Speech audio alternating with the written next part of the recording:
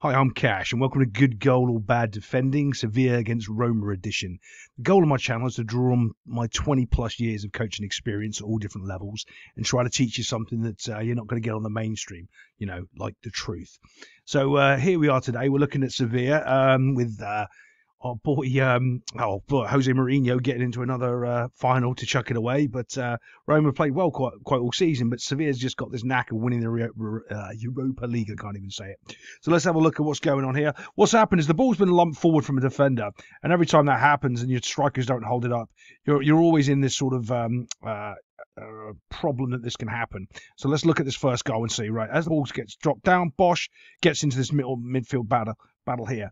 Doesn't seem anything uh, important really happening. Everyone seems to be okay. Uh, you can see this striker. Oh God, I love strikers because I used to play up front. Um, he's already off. He expects this guy to win the ball, and he's already making a run for the goal. Brilliant, well played, buddy. Um, yeah, but that's not what's going to happen here. Let's just watch what goes on. Bit of a bouncing ball, terrible. He's got complete control here, right? So the um, Sevilla midfielder here has got control of the ball. It's what he does now determines what happens next. Does he put the ball under control? And if you if you look, if he's smart, the first thing he does is try to get it there. He's facing that way. He can get it straight to this guy, and everything's going to be good. Does he do that? Let's have a little watch. No, he tries to be clever and turn, right? So as he tries to be clever and turns, and maybe because if if he was a good enough player and he's running and he saw that striker running, maybe he wanted to turn and release that striker straight away. Instead of doing what I would have wanted him to do, do that and have that guy do it instead. And that would have been perfect. But he tried to get a bit clever, try to think that he's getting pulled over or there's a foul going on. None of the sort happening whatsoever. So Roma carry on playing, and this is what happens next. Picks the ball up. He's still complaining instead of playing the football. That's why you know he's bad at the football. So uh, all of a sudden, Roma's now got the ball.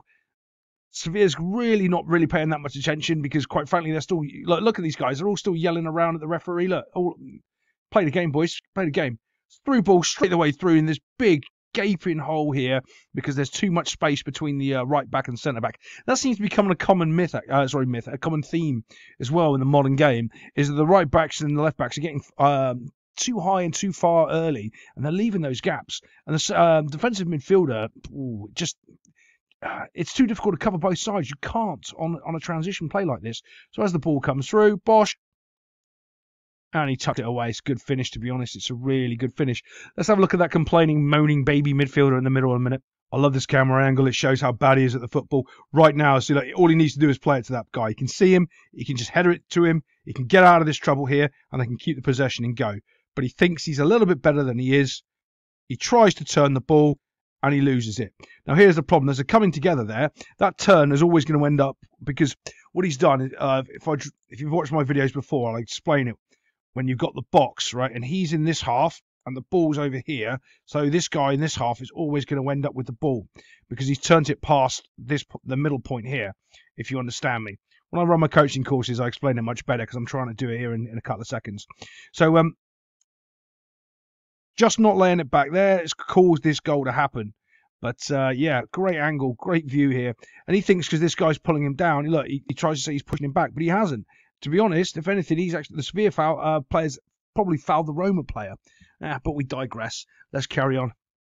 And when you have a little look at what how big that gap is here. From this angle, you can see what I'm what I'm on about. How big that is and how small that is. How close those two are there because there's a striker, which is the right thing to do. But there's another player that was sneaking in coming up here, and this right back was too far forward. Now, to be honest, if he was close enough, he might have been able to put in a challenge. He wasn't going to win the ball, but he might be able to put the striker off, so he didn't have such a clean finish. But like you, you, you can just tell that guy's gone too far forward. You've always got to like it's interesting because uh, people think so differently on the game. If that ball's bouncing in midfield, I'm trying to get my uh, left and right back to squeeze in because I have a feeling my idiot on the ball is going to lose it. You know, and it depends on who the idiot on the ball is. In this case, he did lose it, and I would have been correct. But uh, I can understand going for it in a cup final and trying to push on. But yeah, uh, let's get on to the last goal. Here we are on the equalising goal. They haven't really done much. All they've done is just kept possession, bounced the ball about, got to this guy out here. He's completely got no pressure on him. Does he need to be marked? No, but he needs someone to be able to put pressure on him pretty quickly, and that doesn't really happen. If you look in the middle, that's kind of fine. There's 2v1 there. Yeah, that's fine. 1v1 there. Look, he's too far away. We're all happy with that. That's not bad, really. We're all quite happy there. Let's see what happens as it plays out. Let's stop there. Let's just jump in. Okay.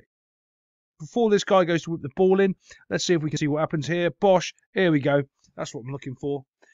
So front post, it's kind of taken out of the way, but we've got this melee of people here, and the ball hasn't really been put into a dangerous zone, but it kind of has, right? So that kind of is a bit of an oxymoron. How's he put it in somewhere that isn't isn't dangerous? Well, it isn't dangerous if the defenders are already back, waiting to clear this ball and knock this ball away. So when the ball comes in, it's easy for them to do. Oh, look, it's zooming in like a boomer. We'll get back out again, right? Um, if it's pulling back, uh, so they're already here. They can get away uh, cleanly. But as they're running back, they're not really set. So that's why it's a dangerous ball because the defenders were too far forward here and now they're running back in. And then they end up in turn putting the ball in their own goal. Bosh, Bomph, defender puts in his own goal because they're running towards the goal instead of kicking away from it, which sounds so simple. If you're there early, you can turn away and you can kick the ball away from the goal instead of running towards the goal. But there we go. It goes into penalties after that and uh, Sevilla win. I don't really do the penalties because, quite honestly, that, that breakdown of that isn't really worth watching. Um, but if you're interested in any of my coaching videos, have a little click or uh, leave a comment and tell me something you want me to do. Cheers, guys. Thanks for watching.